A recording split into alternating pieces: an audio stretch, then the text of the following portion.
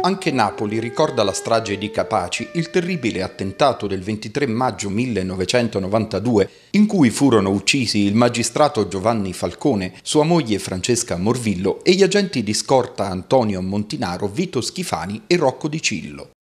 Il sindaco Luigi De Magistris ha deposto una corona di fiori sulla lapide dell'albero della legalità che ricorda le cinque vittime.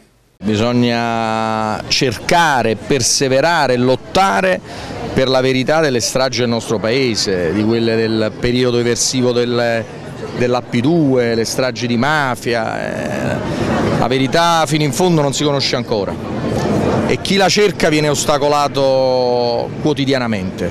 Questo fa capire quanti ricatti ci sono nel nostro paese, quanti lati oscuri, quanto le mafie sono penetrate nella politica e nelle istituzioni. Questa, questa è l'emergenza del nostro paese ma evidentemente si vuole nascondere questo aspetto, è un tema di cui non si vuole parlare, bisogna tenerlo sempre un po' nascosto, invece l'attenzione deve essere altissima altrimenti chi lotta per la verità viene fermato e non te ne accorgi nemmeno perché ormai si usa il tritolo istituzionale, non più il tritolo come a Capaci e a Via D'Amelio.